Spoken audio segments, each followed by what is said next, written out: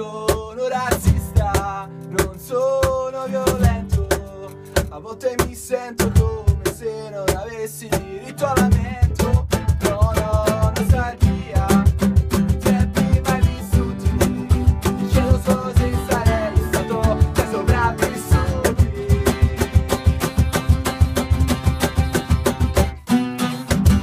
Ci hanno fregati.